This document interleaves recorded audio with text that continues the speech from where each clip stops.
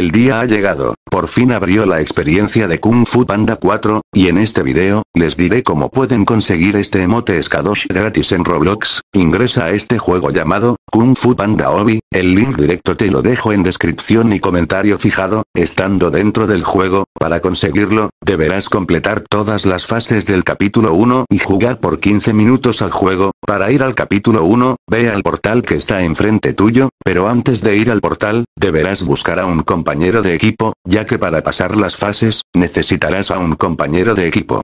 Este ítem no tiene copias, o sea que no es límite, lo pueden conseguir infinidad de personas, pero yo les recomiendo que lo consigan ya, ya que solo estará disponible por tiempo limitado, hasta pronto mis queridos honguitos.